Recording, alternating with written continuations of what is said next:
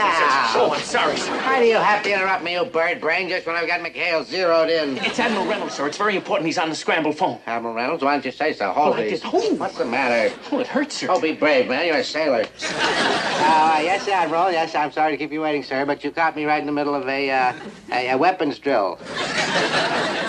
Uh, uh, what can I do for you, sir? Just a reminder about the logistics conference, Binghamton. We convene Saturday at 0800, so give yourself plenty of time to get here.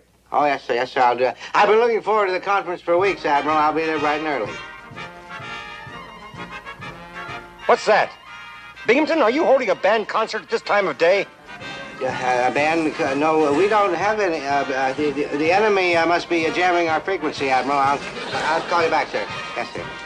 What's going on out there? What, what, what, what, what is it? Oh, sure. Look out there.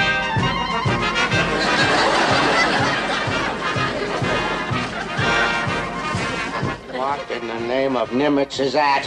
Coming Friday, the PT-73 Follies?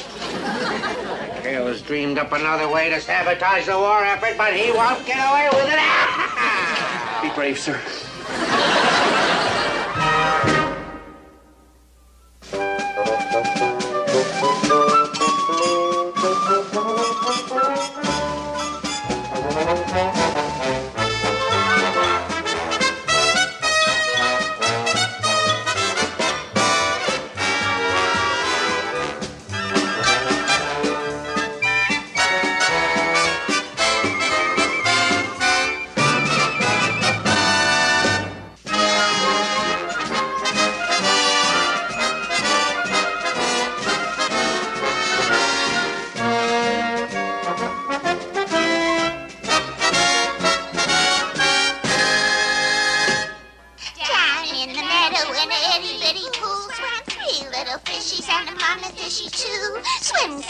The mama fishy, swim if you can. And they swam and they swam all over the dam. Did him down and what him. What him. What him. Shoo. What him. Shoo.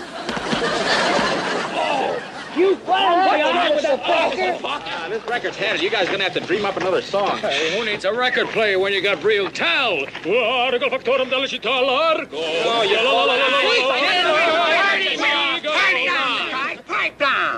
down. Now I'm gonna take over saying I'm gonna run this whole show. Nobody's gonna stop me. See, yeah, 'cause I'm the guy around here. If anyone tries to stop me, I go pop, pop, pop, pop, pop, pop, yeah. You don't have to get sore about it, Tink. I mean, you know. I ain't sore, Mr. Parker. That's my imitation of Edward G. Robinson. I do about 50 more. Guess who this is? Mr. Christian. Mr. Christian, come here, or I'll have you lashed to the mast. Who is it, Betty Grable? Hey, you with our button shoes. Come on, guys. Parker, your worries are over. Look what I whipped up. A real, genuine, homemade Gazika box. Oh, you didn't have to go to all that trouble. I mean, just a few card tricks would have done, you know. Card tricks? Why, that's strictly for the peasants. With this, I make a beautiful girl disappear. Here, Mr. Parker, step in the box. Oh, no, wait a minute. I'm not a beautiful girl. I'm an officer and a gentleman. Oh, so for the sake of the demonstration, we'll pretend you just got your commission in the waves, huh? Well, why don't you take one of the ladies? I mean, Easy. well, Yeah, you you come in. Toes in. Good. Same way. Uh, Booge. Now, night. Behold, a miracle.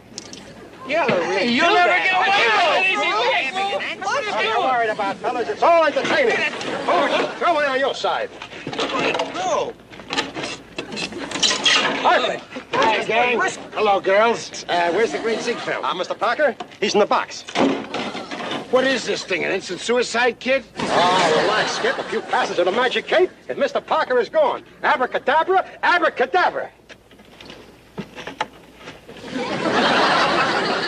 Chuck, are you all right? What are you trying to do, get rid of my executive officer? I can explain it. This was too much abra, not enough cadabra. Abracadabra, but... Uh, The box. The box was too big. The answer was too small. Uh, The answer was too small. The box was too big.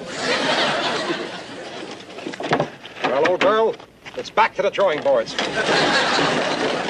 still stuck for an opening act, Skip. How about me? I can tell plenty funny Japanese jokes if Skip doesn't be my straight man. Okay, Uncle Milty, go ahead. Oh, boy, this better be good.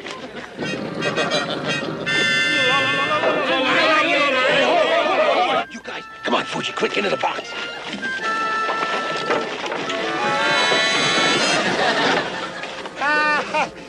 There, Captain. How are you, sir? All right, I give up. Is this a PT base or is the Section 8 ward having their annual picnic? oh, no, sir. We're perfectly normal. Uh, straighten up there, girls. well, sir, the men were just putting the show together, and, uh, you know, for the men on the main base. you must have heard. Oh, yes, I heard all about it. Carpenter heard about it, too. The Admiral's heard about it. I imagine that even Emperor Hirohito has heard about it by now. Boy, our publicity campaign's really going over. Oh, yes, Keep out of this. Benson, you are bucking for seaman second class. I've got a little bit of news for you, too, McHale. You're not putting on any show. I've just rung down the curtain. Oh, now have a heart, Captain. The men are starved for entertainment. Why, there hasn't been a USO troop through here in months. And you know why? Because we are supposed to be conducting a war here, not auditioning for the next edition of the Ziegfeld Follies. Ziegfeld! Follies!